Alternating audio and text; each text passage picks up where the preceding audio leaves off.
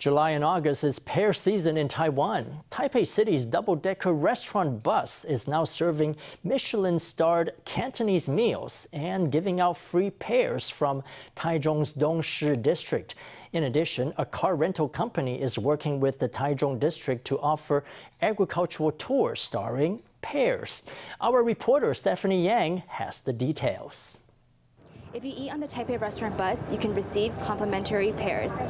In collaboration with a five-star hotel in Taipei, the Taipei city government is bringing Michelin-starred Cantonese meals to its sightseeing bus service. The bus will also be giving out pears from Taichung's Dongshi district. From July 15th to August 14th, if two people ride the bus together, they will receive a free box of pears. Patrons in Taipei can enjoy fresh products from our farms. If they have time, they can also come by our recreational facilities for a farming experience, to pick pears, and to stay at our villas. We're promising our countryside eco trips. July and August are our harvest season. In addition, there will be weekly tours in Dongshi from July 15th to August 6th. Visitors can join day trips or two-day tours.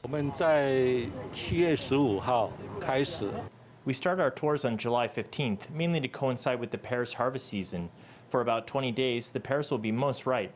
We will offer one-day tours every day.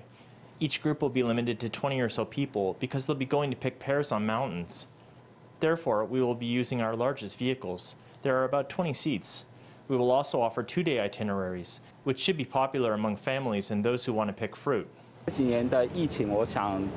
The global tourism industry has indeed been hit by the epidemic in recent years. In Taiwan, agriculture tourism has felt the impact. In the first year of the epidemic, average revenue declined by at least 10%. In the second year, the drop was at least 25%. This year, my conservative estimate is that revenue will drop by about 40%. But I believe that in the second half of the year, the epidemic will gradually ease. I think that our unique, in-depth agricultural tourism experiences will be very popular among foreign tourists. With the world reopening, the government hopes to boost agricultural tourism and give tourists a fresh way to see Taiwan. FTV reporter Stephany Yang and Liang Junle in Taipei.